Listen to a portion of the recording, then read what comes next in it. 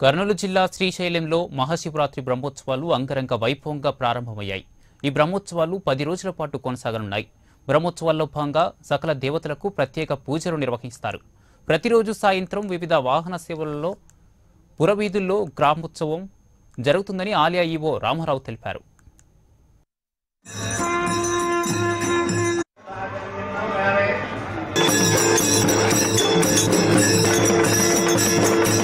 Thank you.